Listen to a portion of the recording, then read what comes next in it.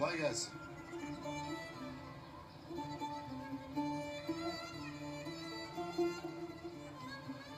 Günaydın usta. Günaydın Cihan. Hayırdır? Bu ne hal? Karadeniz'de gemileri mi battı? Yok bir şey usta. Boş ver. Ee, dün uçuyordun. Ne oldu balon söndü? Balon elimizde patladı usta. Elimizde patladı.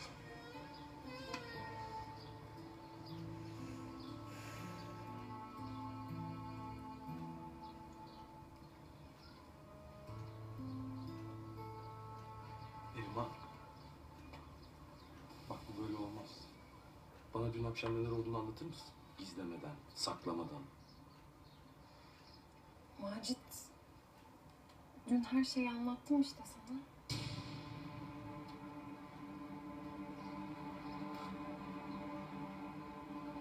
Biliyorum aşkım. Ama benden bir şey saklıyormuşsun gibi. Dün annemle konuştuktan sonra bir tuhafsın.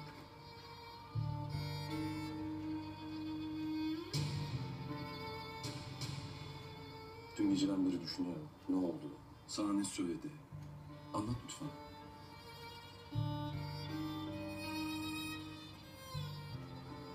Macit,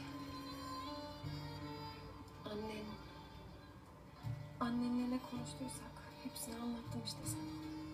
Neden böylesin peki? Sanki benim sevdiğim gitmiş yerine gergin, tedirgin birisi gelmiş. Annenle konuşunca aklıma babam geldi. Gerçekten çok üzüyor. Bu yani bu kadar. Sevgilim.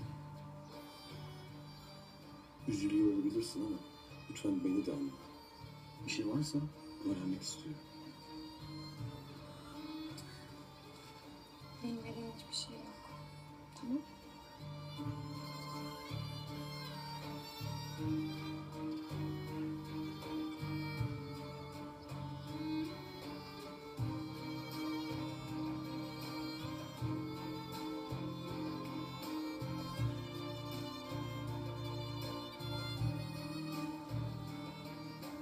Akşam görüşürüz.